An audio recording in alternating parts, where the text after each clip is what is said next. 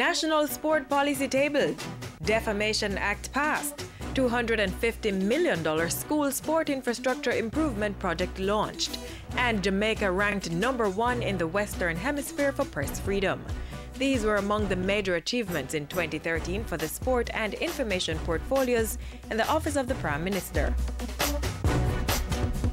Increasing the contribution of sport to national development was the main focus of OPM's sport unit in 2013. In March, Minister without portfolio responsible for sport Natalie Neita Headley tabled a white paper of the national sport policy.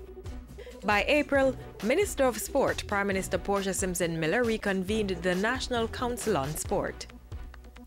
The OPM was steadfast in its efforts to fully maximize the potential of sports in 2013.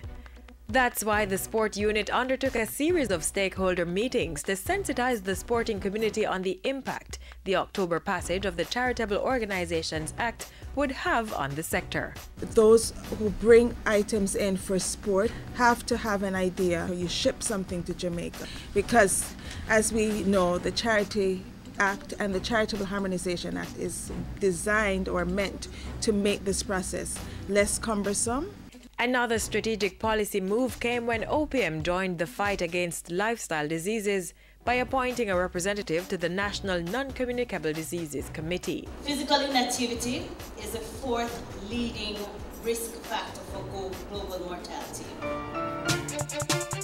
To ensure Jamaica's young athletes are equipped to achieve their full potential, the OPM announced a $250 million high school sport infrastructure program in the latter part of 2013. Under this project, 10 schools will be targeted by the Sports Development Foundation in phase one to the tune of $100 million during financial years 2014 to 2016.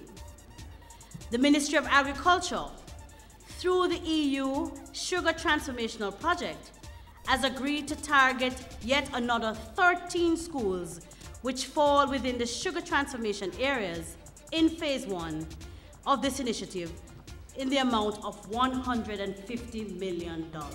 And in a bid to have Jamaicans competing in more sporting disciplines on the world stage, the sport unit also supported the groundbreaking for a state of the art weapons range. This facility will fit right into those plans of ensuring that come 2016 or come 2020, uh, we will have another sporting discipline in which Jamaica will not only be participating, but will be excelling in. A significant preoccupation for OPM's sport division in 2013 was the quest to preserve the integrity of sport on the island. During her budget presentation, Minister Neita Headley announced that $16 million was set aside to improve JADCO's testing program. An additional $7.15 million was received from the Chase Fund to develop nutritional and educational programs, launch a new website, and provide additional doping control testing. The government of Jamaica is relentless in its commitment to integrity in sport and will do its part for the maintenance of a doping free and sporting environment. And we stand with our athletes.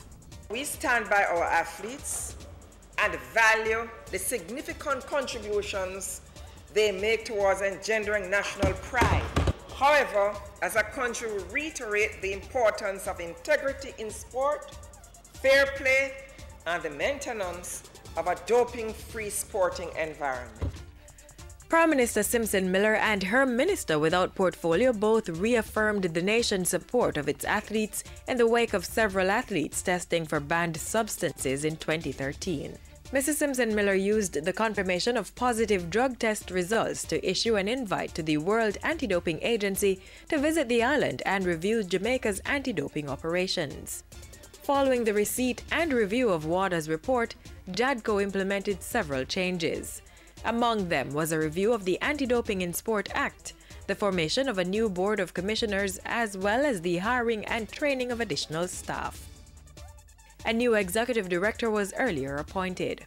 At the end of the day, our aim is to transform Jamaica into one of the most engaged and most successful sporting nations in the world.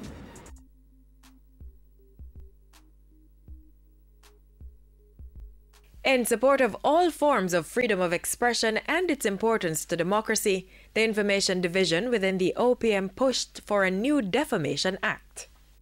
This bill is a significant plank in our democratic infrastructure. The amended Defamation Act, which replaces the decades old libel and slander laws, was passed in the Senate in July and the House of Representatives in November 2013. It abolishes criminal libel changes the assessment of damages from a jury to a judge, and introduces new remedies that do not require monetary compensation. As testament to the government's open media policy, Jamaica was ranked number one in press freedom in the Western Hemisphere last year.